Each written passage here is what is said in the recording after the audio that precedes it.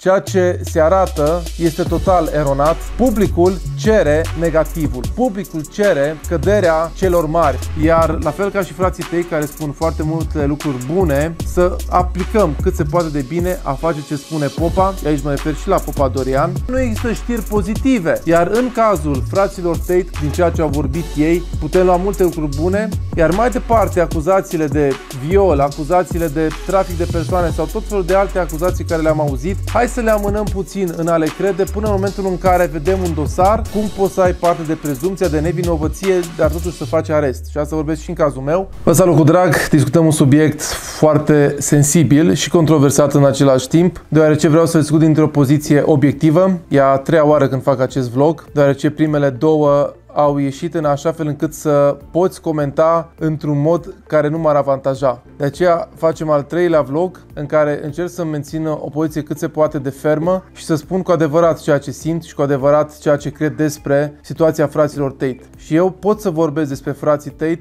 pentru că am trecut prin ceea ce ei au trecut și prin ceea ce urmează să treacă. Și știu că cel mai greu lucru în aceste momente este faptul că nu știi. Nu știi ce urmează, nu știi ce va fi luna următoare, nu știi care va fi până la final acuzația, nu știi, nu înțelegi, nu vezi, este o situație teribilă. Sunt momente pe care nu le-aș dori nici măcar celor care mă dușmănesc și celor care mi-au făcut rău. Pentru că sunt oameni care au fost pe acolo, iar mai departe când au ieșit, au fost arși. Atunci când au ieșit, n-au putut să facă nimic, niciun business și pur și simplu au ieșit oameni mai mici decât au intrat. Motiv pentru care Înțeleg durerea și ceea ce înțeleg este faptul că de multe ori în mass media, și vă spun de pe pielea mea, ceea ce se arată este total eronat, total, total, total eronat, lucruri care sunt foarte clare, lucruri care sunt foarte simple, sunt luate complicate, rotite în așa fel încât să atragă publicul. Publicul cere negativul, publicul cere căderea celor mari, publicul cere căderea zeilor. Asta a făcut-o de-a lungul istoriei de nenumărate ori. Oamenii mari au fost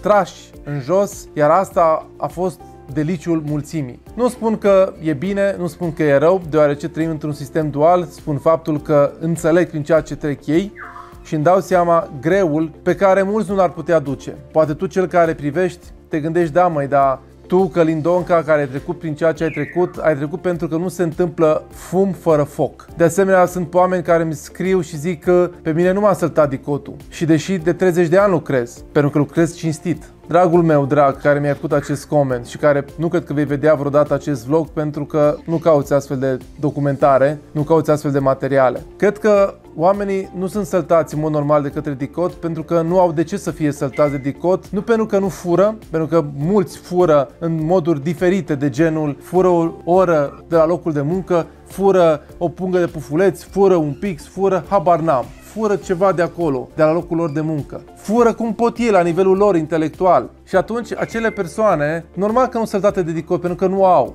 Nu au. Pe cealaltă parte, persoanele care nu fură, dar au, pot să semene cu cele care fură și au. Iar în final, cei care au să fie atât de asemuiți încât să nu se mai facă diferența. Iar când nu se mai face diferența, cei care n-au furat și au cu cei care au furat și au, sunt ambii verificați de către organele statului și de către DICOT da? și de către alții. Moment în care, în urma unei verificări, pot apărea interpretări, iar după interpretări pot apărea acuzări. Nu vreau să vă vorbim mai departe, sunt foarte multe dacă și cu parcă și cu poate, motiv pentru care e bine să faci în viață ceea ce zice popa, nu ce face popa, iar la fel ca și frații tăi care spun foarte multe lucruri bune, motivaționale, este bine să le luăm pe acelea și să le folosim pentru dezvoltarea noastră noastră, iar mai departe să aplicăm cât se poate de bine a face ce spune Popa, aici mă refer și la Popa Dorian, nu doar la preoți, pentru că și Popa Dorian a spus lucruri trăznite pe care nu le urmează, iar altele pe care nici măcar el nu le crede, dar e bine să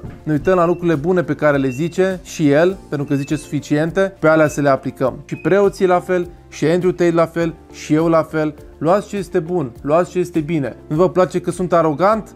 Nu fiți aroganți. Nu trebuie să fiți aroganți, dar trebuie să vă placă atâtea lucruri bune pe care le zic și pe care le puteți aplica. La fel este și în cazul lor. Motiv pentru care eu zic că trebuie să învățăm de la aceste persoane, inclusiv de la mine, lucrurile care trebuie să le învățăm, iar când auzim mass media că vorbește, să trecem printr-un filtru al inteligenței, considerând faptul că atât mass media cât și anumiți vloggeri și cât și anumite persoane livrează știri negative și critici pentru că astea sunt cele căutate, nu pentru că sunt reale. Suntem plini de știri negative, nu pentru că nu există știri pozitive, pentru că alea pozitive nu sunt urmărite, nu produc bani și dacă nu produc bani, cine să le livreze? Cine le livrează pe banii lui? Normal că dacă eu am un post de televiziune, vă livra știri negative, că alea îmi scot banii să pot plăti chiria, la sediu să pot plăti angajații. Știrile pozitive mă duc în faliment, da? Și atunci cum să dau eu știri pozitive? Credeți că va fi vreodată un canal al unui critic pozitiv să crească pe YouTube? Nu!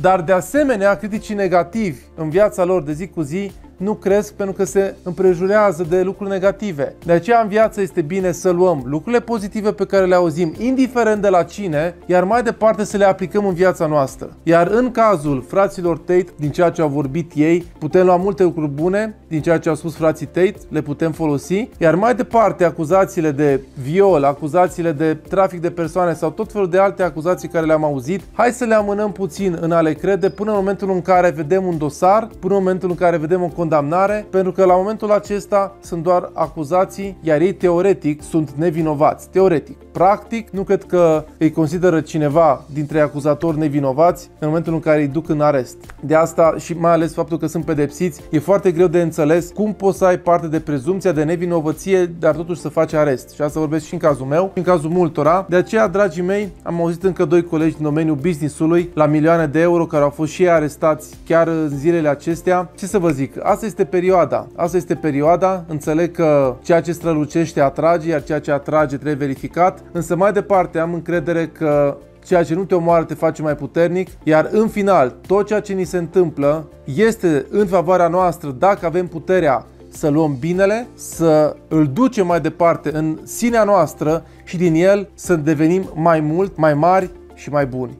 În final, gândul meu este că e păcat să dăm la o parte atâtea lucruri bune pe care le spun frații tăi și mai ales Andrew doar pentru că au fost acuzați. Doar pentru că au fost acuzați și dacă sunt sau nu condamnați, e păcat să considerăm că acele lucruri pe care le-a spus, multe dintre ele, n-ar fi adevărate. Acele lucruri sunt foarte adevărate, unele dintre ele, și pe mine m-au ajutat, m-au îmbărbătat, m-au motivat, m-au uh, întărit și cred că și pe mulți dintre voi. Motiv pentru care hai să-i mulțumim lui Andrew Tate pentru ceea ce a spus, iar dacă este vinovat sau nu, este problema lui și mai departe el trebuie să răspundă cu faptele lui către cei pentru care sau față de care a greșit. Este între el și oamenii respectivi. Nu este între el și mine, este între el și oamenii respectivi, între el și procuror. De aceea, haideți să înțelegem ce se referă la noi și ce se referă la alții. Sunt persoane care îmi spun dă bani înapoi la oameni. Iar eu vin și întreb care oameni, pentru că mulți nici măcar nu-i cunosc. Pur și simplu vorbesc doar din auzite. De aceea, dacă ți-am greșit cu ceva ție, cel care mă urmărești, îmi cer iertare și îmi pare rău real și te rog să-mi scrii pe Instagram să-mi spui cu ce ți-am greșit, pentru că poți să mă contactezi oricând, iar în cazul în care nu ți-am greșit cu nimic ție, dar ai o părere negativă despre mine, gândește-te de unde o ai, pentru că s-ar putea să vină din mass media, s-ar putea să vină de la o persoană care nici ea nu mă cunoaște, s-ar putea să vină de la cine știe ce critic, care cu asta se ocupă critică, pentru că altfel